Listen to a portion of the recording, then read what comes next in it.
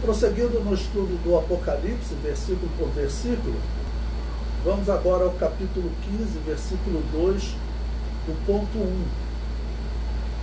Um mar de vidro misturado com fogo. Diz assim o versículo: E vi um como um mar de vidro misturado com fogo, e também os que saíram vitoriosos da besta e da sua imagem e do seu sinal e do número do seu nome, que estavam junto ao mar de vidro e tinham as harpas de Deus. Bom, então vamos comentar nesse texto. João, ele viu um mar de vidro misturado com fogo. Tudo indica que é, essa é uma visão da igreja, né? e também os que saíram vitoriosos da besta, ou seja, aqueles que morreram durante a grande tribulação. O comentário diz: o mar de vidro misturado com fogo representa a igreja arrebatada antes da grande tribulação. E os que venceram a besta são os martirizados durante a grande tribulação. O mar de vidro misturado com fogo fala da capacidade da igreja arrebatada para participar do juízo, simbolizado no fogo. Um dos é, símbolos naturais do fogo é o juízo.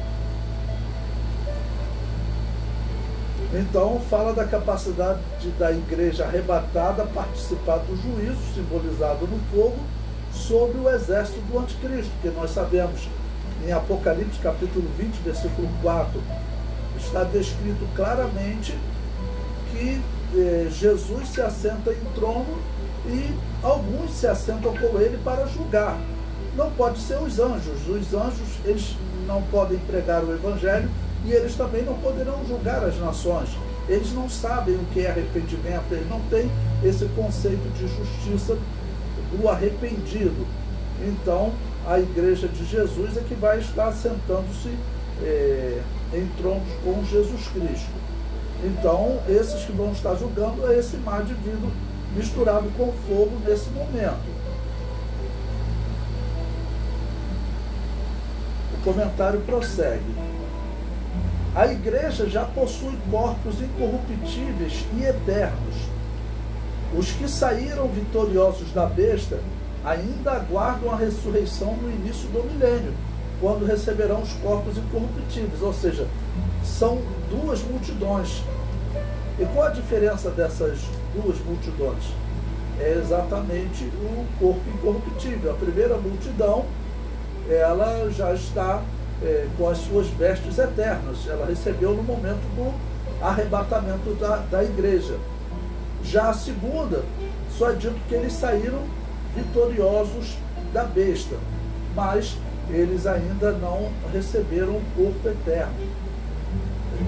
Aqui, nesse momento, nós estamos estudando, pelo que percebemos, os últimos meses da grande tribulação, foi assim desde o capítulo 14, quando vimos a simbologia né, da colheita do trigo e da colheita da uva, era um intervalo de sete meses, mais ou menos. Então aqui deve ser os sete últimos meses da grande tribulação.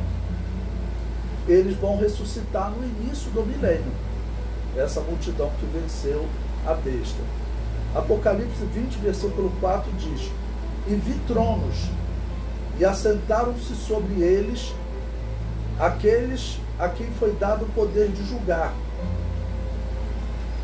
E vi as almas daqueles que foram degolados pelo testemunho de Jesus e pela palavra de Deus, e que não adoraram a besta nem a sua imagem, e não receberam o sinal na testa nem na mão, e viveram e reinaram com Cristo durante mil anos. Ou seja, você tem aqui a explicação dos, eh, das duas multidões no capítulo 15, versículo 2.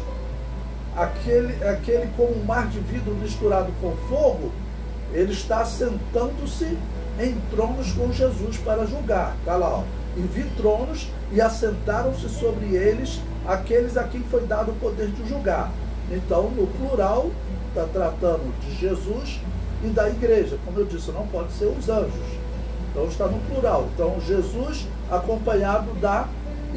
Bom, além desses que assentaram-se é, nos tronos, João vê as almas daqueles que foram degolados pelo testemunho de Jesus, ou seja, explicando também o capítulo 15, versículo 2, porque ali ele viu uma segunda multidão que saiu vitoriosa da imagem da besta, do seu sinal e do número do seu nome. Então aqui estão é, a igreja arrebatada e a igreja martirizada durante a grande tribulação. O comentário prossegue.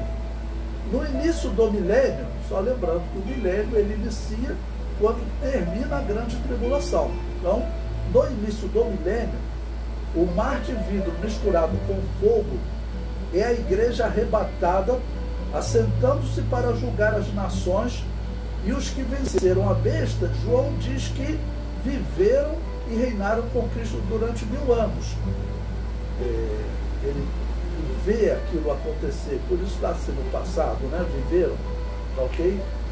Mas então o mar de vidro misturado com fogo é a igreja arrebatada. E aqueles que venceram a besta, eles vão ressuscitar agora e vão reinar com Cristo. Mas nesse momento, no início do milênio, eles não se assentam em trono. Se assentam em tronos aqueles que foram arrebatados.